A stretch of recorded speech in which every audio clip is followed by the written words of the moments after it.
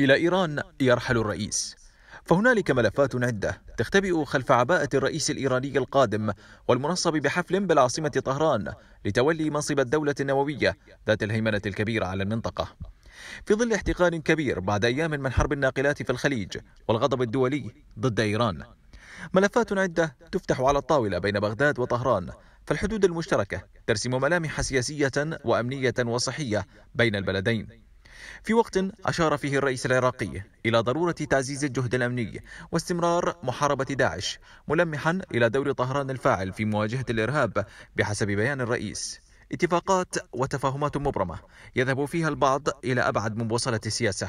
إلى جماعات مسلحة تدعمها إيران زادت فعالية في الآونة الأخيرة باستهدافات متكررة لمواقع عراقية ومطار بغداد وقواعد عسكرية أخرى. اقتصاديا واشنطن تمد استثناء بغداد من العقوبات ضد إيران أربعة أشهر أخرى لاستيراد الكهرباء والغاز المسنود ضعيفا والمعتمد على الجارة الشرقية رغم احتراق النفط في البلاد لسنوات.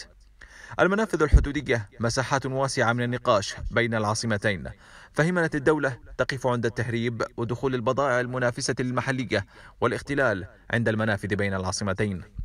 رئيسي المرتقي للرئاسة تنتظره خريطة قد تكون مشابهة لنظرائه السابقين في التعامل بين البلدان والجيران فالسياسة الإيرانية لم تتغير اتجاه العراق بتغير الوجوه والمسميات وطهران ثابتة رغم توتر المنطقة وهزائز الشرق. من بغداد علي أسد الرشيد.